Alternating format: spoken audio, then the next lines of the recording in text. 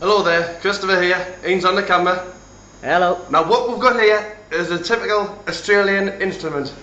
This is a didgeridoo and I've been learning to play one for about two to three weeks now so I'm going to give you a little bit of a demonstration of how we play one.